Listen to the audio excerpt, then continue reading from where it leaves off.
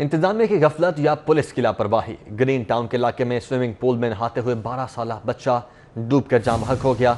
लवाहकिन की जानब से कार्रवाई न करवाने पर पुलिस ने लाश बुरासा के हवाले कर दी।